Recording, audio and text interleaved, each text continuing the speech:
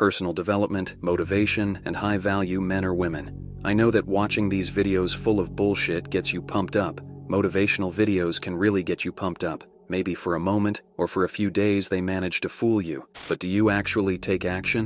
Okay, your self belief is restored and you feel good, but do you start to get things done as soon as possible? Does something change in your life? Or do you find the strength to change? Probably not. Not if you're in this video and you're intrigued by the title or the cover photo. You realize that these bullshit self help videos are a lie and a trap.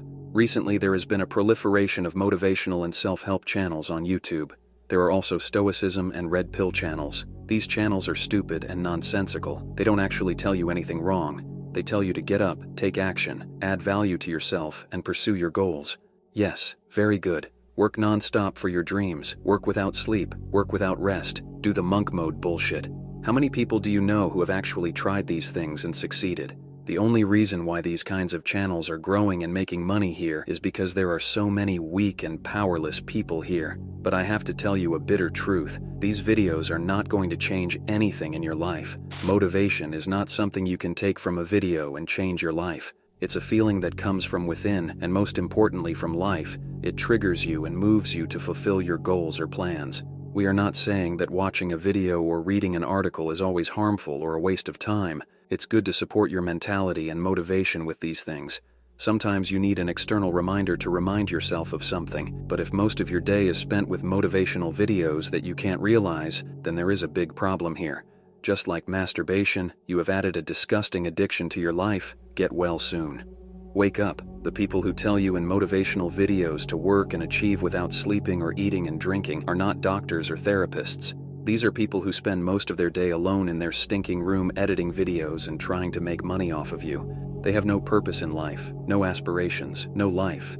Their only source of income may be you, those hollow motivational videos that they make a living from by making you watch them. Of course, we don't mean everyone who produces content in this field in this way. There are channels that are really experts in their work and provide benefits especially if you are addicted to red pill, sigma male, and stoicism or monk mode videos. You can close this video here. It would be much more beneficial for you to go to a psychiatrist. Even this video cannot contribute to such an imaginary world. Your mind is already in zombie mode.